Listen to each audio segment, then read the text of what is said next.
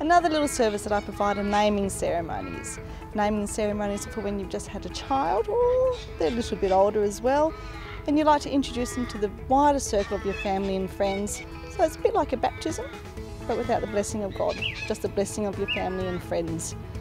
Naming ceremonies are very special to me because they always involve children and with children you never know what's going to happen on the day but it's all about your little child, about your little baby and welcoming them into your family.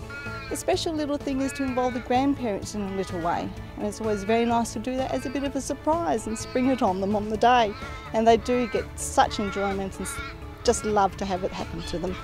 The options are limitless, only left up to your imagination and you can have your ceremony wherever you like to have it, in your backyard, in a park, down the beach, anywhere that you like to do it. That's what makes it special and makes it very, very personal for you and your family. Getting good advice is so important when planning your event. If you have any questions at all, please feel free to contact me on the number listed below. I'll be more than happy to discuss any queries that you will have and help you start your process to get your event just how you'd like it to be.